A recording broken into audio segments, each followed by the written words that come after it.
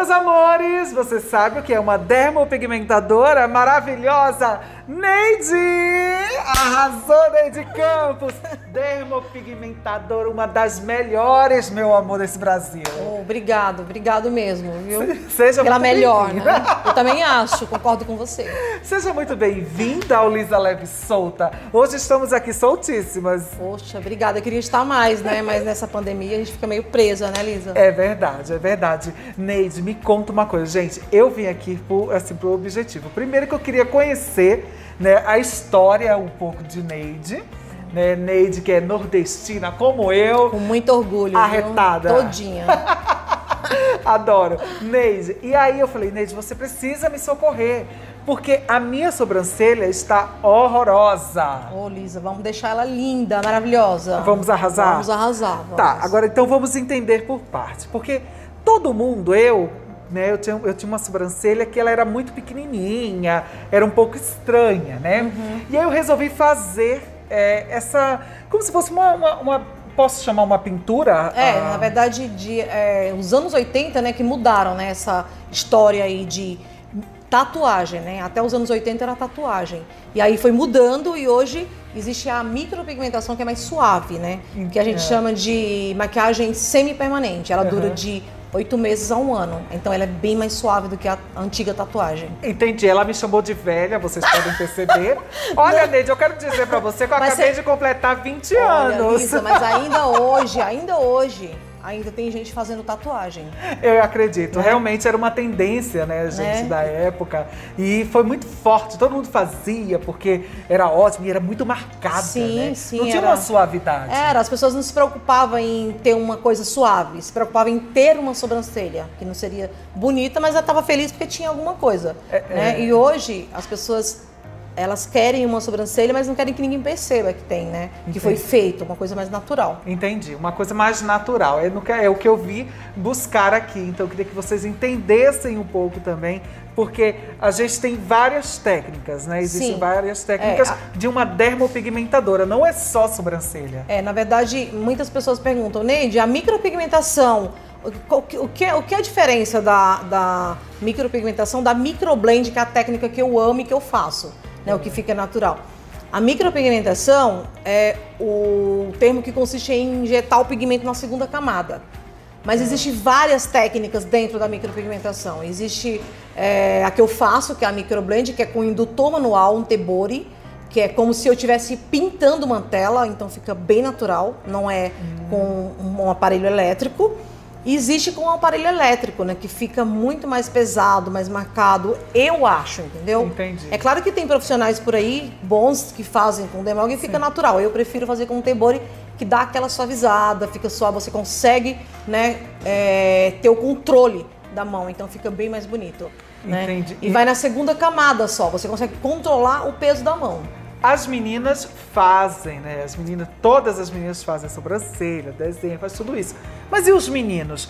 Também se Também, preocupam? também. A gente tem clientes masculinos e eles fazem, tem vaidade tanto quanto as mulheres. Alguns ficam meio assim, né? Com medo de ficar aquela coisa muito, né? Sim. Tipo, cheguei, mas fica bem natural. Os homens que fazem comigo, né? Eles fazem e nem se percebe, fica bem natural. Viu, meninos? Então, Fica bem legal. vamos fazer com a Neide. Vem aqui que a Neide vai fazer algo mais discreto pra você. Sim, com certeza. A gente faz um simulado antes, é feito um simulado, Lisa. Ah. E só depois que ele aprovar é que a gente faz. A gente não faz nada com surpresa. Entendi. É o que ela vai fazer comigo, é o que vocês estão vendo aí passando nas imagens, que é justamente isso, né? Esse, esse simular pra ver se a pessoa vai Sim, gostar. sim. Se não gostar, vamos fazer outra. É, porque E nesse assim, caso ninguém, ninguém gosta de surpresa. Já pensou? Ah, vou fazer uma surpresa, você acorda, levanta e tá aquele negócio. Não dá, né? Não tem como tirar com algodão, né? Isso é uma Ah, coisa. Aham, né? entendi. A micropigmentação você, pode ser feita também na, na- no cabelo, no couro pode, cabeludo, pode ser na feito, verdade? Pode ser feito. Chama-se a tricopigmentação, que é, é o, no couro cabeludo a gente simula fios para disfarçar a calvície. Eu Aham. prefiro fazer só em pequenas regiões, porque quando é a Certo. cabeça inteira eu acho que fica um pouco artificial. Fica, eu, em né? particular, não gosto. Eu gosto de fazer mais só quando é uma cicatriz, ou então uma Sim. coroa um pouquinho, tá mais. Aí a gente faz. Entendi. É, no caso, vamos ao que interessa, né, gente? Porque todo mundo fala, ah, vai ficar lindo, maravilhoso. Mas tanto na sobrancelha quanto na cabeça, tem dor, sente dor? Então, a micropigmentação, é, a gente pode usar um anestésico, né? Ela é muito ampla a micropigmentação. Existe tanta tricopigmentação que é no couro cabeludo, como a sobrancelha, como o olho, a boca, a areola mamária. A micropigmentação cobre mancha de vitiligo quando já está estacionado. Então, assim, é muito amplo essa parte de- da micropigmentação. Dentro da micropigmentação na sobrancelha, existem várias técnicas. Existe a compacta, aquela que você vê que é toda fechada, que eu, não- eu em particular não acho legal. Tem gente que gosta, né? Existe a- a- o hiperrealismo, que é a técnica que eu trabalho, que eu acho super bonito, né? Que é com fiozinho simulando né, todos os fios, que fica mais natural. Existe a shadow, existe milhares de técnicas que se criaram dentro da micropigmentação. Tá, e os cuidados que, que devemos ter em relação à é, à micropigmentação, né? Porque a gente tem que ter muito cuidado, porque com certeza deve ter tinta que machuca. Como é que se tem esse cuidado antes de fazer a Sim, aplicação? antes de, antes de fazer, é, eu sempre falo para as pessoas procurarem um bom profissional, pesquisarem em sites de reclamação, é, sites de pequenas causas, porque é uma brincadeira que estão fazendo na cara das pessoas. Inclusive, eu trabalho com laser para remoção. Né? Porque tem gente que acha que é simples. Não é simples. Fazer um desenho, muita gente sabe fazer um desenho na sobrancelha. Inclusive você, né, Lisa? Você mesmo Lisa, desenha em casa, né? É verdade. Pra fazer uma maquiagem quando você quer. Maquiadores excelentes fazem uma sobrancelha muito linda com maquiagem. Só que ele precisa entender de fisiologia da pele, colorimetria, pigmentologia, para a sobrancelha não mudar e não ficar azul, verde, rosa, que é o que mais tem por aí. É muito triste. Então, você tem que pensar que essa sobrancelha que você fez não é só um desenho, ela vai se modificar. Isso E para remover dá mais trabalho. isso, e para remover é doloroso, Imagino. né? Dá um, não dói tanto porque tem um anestésico, né? Mas é um pouquinho chato, que você tem que esperar 30 Entendi. dias de uma sessão para outra para ver se precisa de mais. E custa dinheiro, né? Custa dinheiro. Agora você chegou na parte que eu queria. É caro fazer esse- tratamento? Olha, eu sempre falo que quando a gente vai investir na gente, colocar alguma coisa em nós mesmas, nada é caro. Eu acho que a gente tem que se dar valor.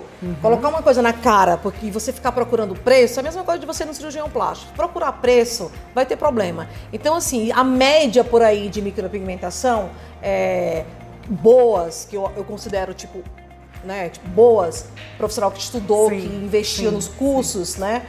Ele vai cobrar caro para muita gente, mas para quem valoriza o trabalho e gosta que é um trabalho natural, não vai achar caro. Né? Então tem que se procurar, porque se a pessoa está procurando só preço, gente, só preço, de verdade, se preocupem. Entendi. Eu- aliás, eu nem quero um cliente que me procure por preço, de verdade, porque ele não vai Pela saber. qualidade, ele não vai né? ser. Agora, se ele me procurar por qualidade, é outra coisa. Agora, se você está procurando preço, existe por aí até de 90 reais. Arrasou, Né? viu, gente? Então, vamos ao que interessa? Vamos. Vamos ao que interessa. Eu vou fazer a minha sobrancelha e vocês vão ver o resultado daqui pra frente. Claro, aqui no meu canal que eu vou estar com sobrancelhas novas. Vamos arrasar, vamos arrasar? gente. Vamos arrasar. Arrasou, Neide Campos. Ai, tô morrendo Obrigada. de medo, gente. Será Não- que, não- será que não- eu vou ficar belíssima? Vai ficar linda, mais ainda. Mais, mais linda que você já é. Eu confio na Neide.